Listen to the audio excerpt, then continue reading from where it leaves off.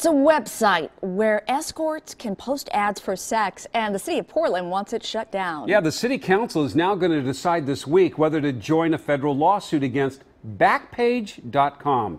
It's taking on renewed importance after a young woman was killed at a Portland hotel after meeting a man on that website. Jennifer Hoff going beyond the headlines to learn more. Jennifer? Jeff, nationally, 100,000 children are in the sex trade every year. The mayor says he wants to help stop sex trafficking and is joining or wants to join attorneys from San Francisco who filed this lawsuit on behalf of three teenage victims, while the website argues why it's not liable for the salacious posts.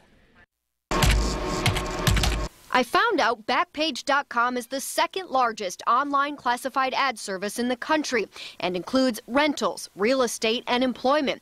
But in this motion to dismiss, lawyers for the site argue it polices user posts with a multi tiered system, including a manual review, and blocks more than a million posts per month. It can be a good place for a lot of things, but the bad is beginning to outweigh the good. Anti sex trafficking advocate Michelle Bart tells me the site is also designed to broker illegal sex deals, and she applauds Portland's mayor for efforting a case against the website. The voiceless eh, are those children, yes, and some women uh, on those sites that are being forced to be there. It's unclear whether these women are under duress, but this one's ad offers great rates. Another one promises a fun time full of naughtiness. Police said sex trafficking victim Ashley Benson met Tay Bum Yoon through her escort service on Backpage.com.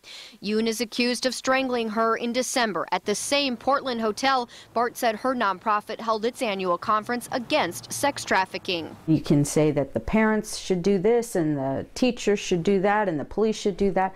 No, we should all work collaboratively in order to slow this stuff down. And the city's lawsuit um, with the city of San Francisco should be every city and every politician across the country. The plaintiffs in the case say they were sold for sex on the East Coast through the site and in court documents describe being raped up to 15 times a day.